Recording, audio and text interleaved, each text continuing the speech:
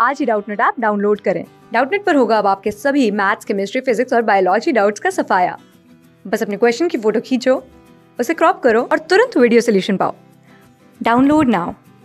Hello students, there is a question given integration of cos square x divided by 1 plus sin x into में dx है।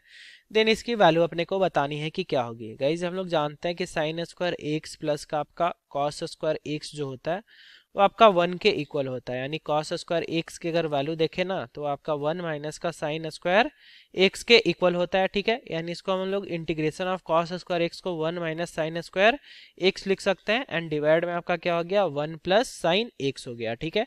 And into में आपका क्या हो गया? डी हो गया।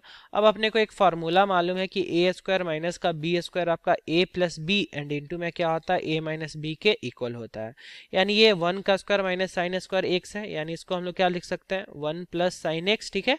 एंड इंटू में आपका क्या आ जाएगा? इंटू में वन माइनस का साइन एक्स आ जाएगा, ठीक है? एंड डिवाइड में आपका क्या हो गया? डिवाइड में आपका हो गया वन प्लस साइन एक्स हो गया। अब यहाँ से देखें तो ये आपका क्या हो जाएगा कि one plus sine x and one plus sine x आपका कट हो गया। यानी ये फाइनली किसके इक्वल है?